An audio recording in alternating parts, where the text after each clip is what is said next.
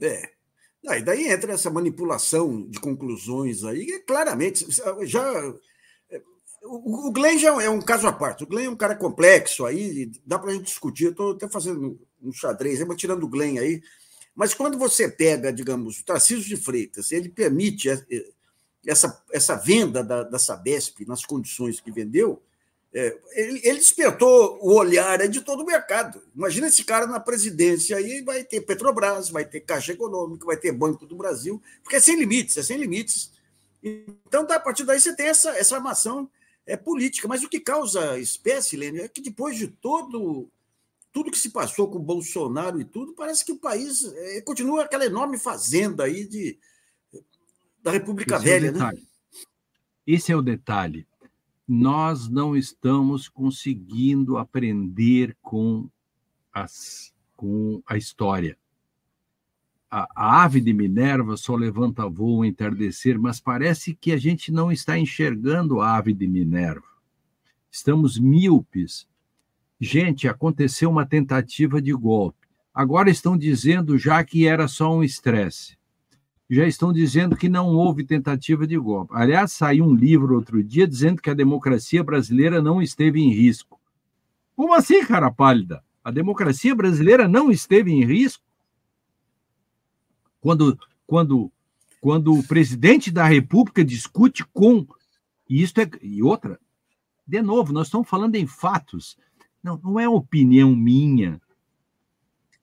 Se vocês olharem o inquérito do, do, do, do, do que da delação premiada do Mauro Cid, e lá tem um hum. depoimento, sabe de quem? Do comandante do Exército. Sabe o que, que disse o comandante do Exército? Que o Bolsonaro propôs um golpe. Está hum. lá escrito isso. Gente, então, quando alguém me diz que não houve, que a democracia não está em crise, eu fico pensando quais são os argumentos contrafáticos que poderiam negar essa tentativa de golpe? Estou né? sendo aqui um pouco sofisticado para falar em contrafaticidade, mas eu quero dizer que essas coisas nós deveríamos aprender com elas e não estamos aprendendo. Então, o que, que acontece? O tempo está passando, Bolsonaro sequer e eu quero dizer para você, com toda sinceridade, digo isso em todos os canais que eu tenho participado. O fato do Bolsonaro não ter sido denunciado até hoje, não ter sido réu e etc., isto é um fator desencadeante das crises constantes que nós estamos vivendo.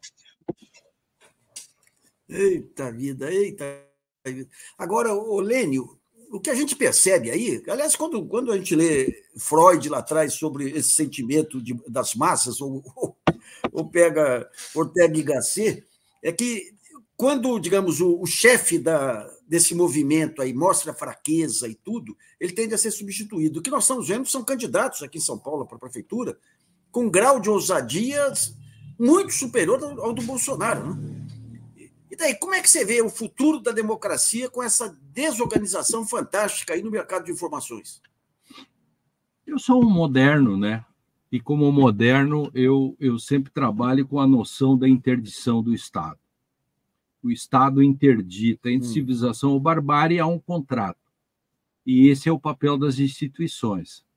Quando eu digo que a não punição de Bolsonaro, a não punição dos mentores do golpe, daqueles que incentivaram o golpe, a não punição dos três oficiais, dos três comandantes militares que assinaram o manifesto de 11 de novembro de 2022. Eu insisto nisso, eu sou um dos poucos caras da República que fica insistindo, porque aquele manifesto que distorceu deliberadamente a lei de defesa do Estado Democrático de Direito, que eu ajudei a fazer, que eles disseram que o parágrafo único que nós colocamos lá, Pedro Serrano e eu e outros, que dissemos o seguinte: vamos colocar um parágrafo dizendo que todas as manifestações democráticas com função social não podiam ser punidas. O que fizeram os três comandantes militares? E vou dizer aqui com todas as letras, quem quiser consulte.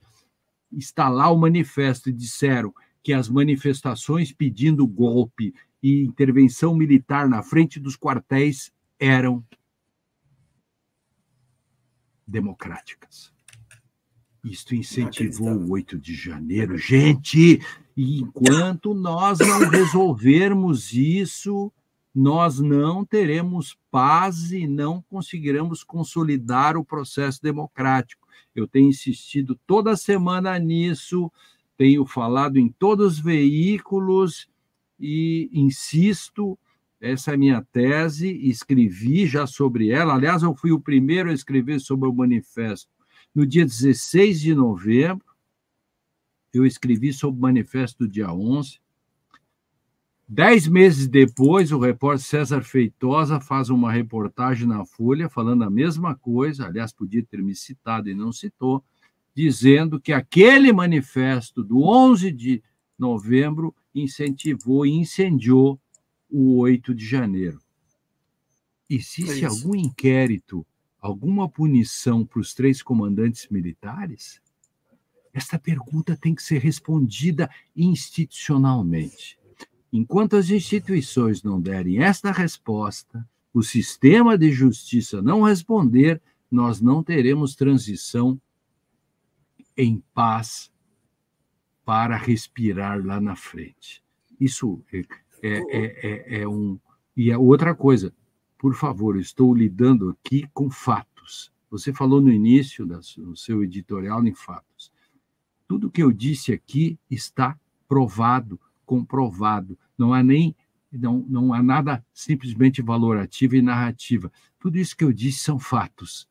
E esses fatos deveriam já ter engendrado movimentos institucionais de contrariedade para mostrar a diferença entre civilização e barbárie. Por isso, eu sou um moderno, sou um robesianista nesse sentido.